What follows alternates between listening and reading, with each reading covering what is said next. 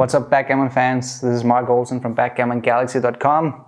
This is the basics video series, so if you had, haven't watched the videos before this one, I suggest that you go back and see some of the, the, the other basics video that we've done. But this video in particular is going to be about the dice combinations of backgammon and the probabilities of the dice. So in backgammon, it is a dice game. It's a strategy game, but it's also a probability game because we're playing with two dice each. So how do we calculate the probabilities over the board? Well, we have two dice. It has a uniform distribution, a die.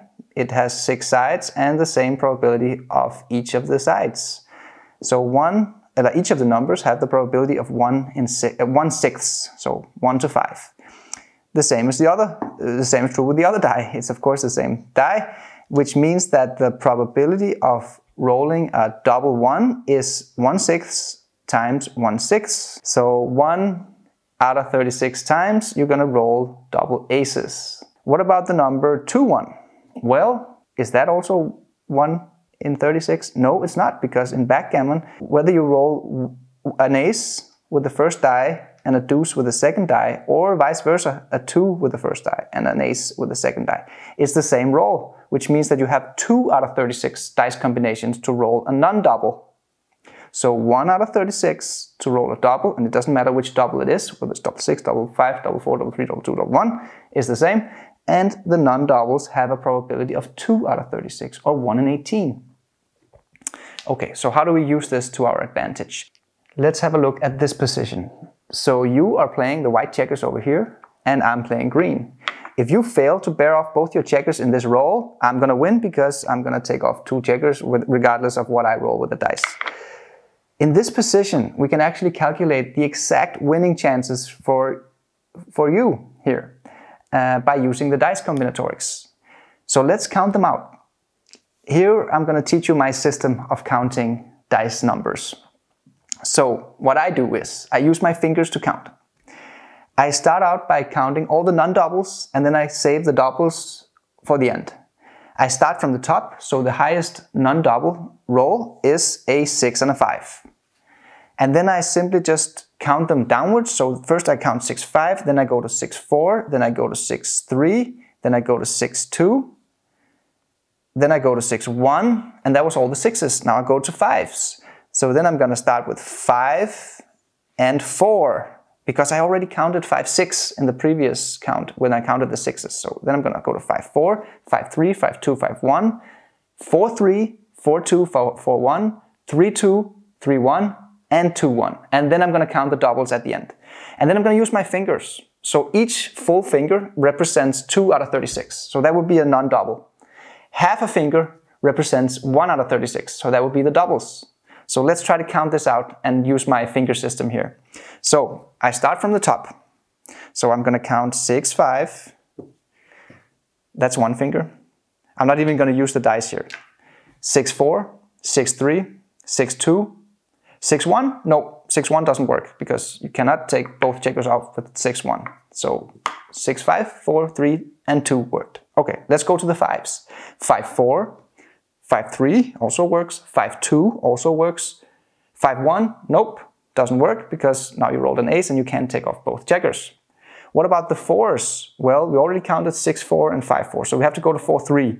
4-3 doesn't work. It doesn't bear off both checkers. So none of the 4s, none of the 3s, none of the 2s that we didn't already count works. Okay, so we have seven fingers of the non-doubles. That's 14 out of 36 because remember, each finger represents 2 out of 36. Now I'm going to count the doubles. So double 6, half a finger. Double 5, that's a full finger now because that's two halves. Double 4 also work. Double 3 also work. Double 2 also work. And double 1, nope, double 1 doesn't work. So we have nine and a half fingers, which is 19 out of 36 dice combinations for white to win this game. So white is a favorite. So if white has access to the cube, he should most definitely double in this position because it's the last roll. The cube cannot be recubed. So if you have the slightest of edge, you should cube. And uh, because you're a 19 out of 36 favorite in this position. Let's have a look at another position here, where we use dice statistics to our knowledge. You unfortunately just rolled a 6-1, so you have to leave a shot, right? The 6 is forced, we take out the 6, and the ace, you cannot play it safe, so you have to expose yourself and leave a shot. What is the probability of green hitting the white checker? Well, again, let's count. So now we're going to count all of the dice combinations that includes an ace. So we have 6-1, 5-1, 4-1, 3-1, 2-1, and that's all the non-doubles. So that's five fingers, so that's 10 rolls out of 36. And now we're going to count the doubles. Double one, that's the only one, so that's half a finger. So that's 11 out of 36 to hit a direct shot. So that's a good thing to remember. Every time you have a direct shot, if you don't have any additional numbers that hit, it's always 11 out of 36. Okay, what happens if we take this checker one pip back? Put it there instead. Now it's a deuce that hits instead of an ace. So again, all dice combinations that includes a deuce with two dice have a probability of 11 out of 36. However, here there is an additional. Here, green can also roll double one. So you have to add the additionals to the direct shot. So we have 11 out of 36 that hits with a deuce directly, and you have double aces. That also hits the checker. So that's a total of 12 out of 36. What if we put it one more, one pip more back? Well, again, we have all the threes, which are 11 out of 36, and now we have to count the additionals. So here we have 2, 1, and double 1. So that's one finger and a half, that's three extra numbers. So that's a total of 14 out of 36. Again, we will move it one pip back. The direct fours, that's 11. Let's count the additionals. 3, 1, double 1, and double 2. So that's two full fingers, four extra shots, 15 out of 36 numbers that hit the checker when it's four pips away. What about five pips away? Again, 11 out of 36 with the fives. Counting the additionals, 4, 1, 3, 2, and that's it. No doubles hit this checker. So again, we have 15 out of 36. It was actually the exactly same probability as four checkers or four pips away. And now we're gonna slide it over to six pips away. Again, 11 out of 36 to hit with a direct six. And let's count the additionals. 5, 1, 4, 2, double 3, and double 2. So that's three full fingers, six extra numbers, uh, 17 out of 36 to hit the direct 6.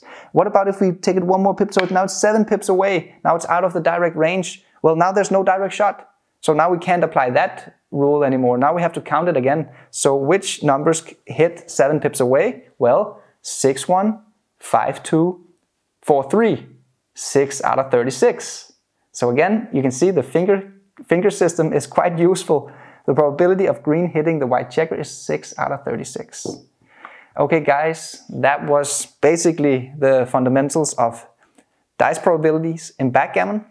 I hope you can apply it to your advantage over the board. I hope to see you in Backgammon Galaxy or maybe at a live tournament where you are playing on this brand new Earthboard 2021 Galaxy Edition.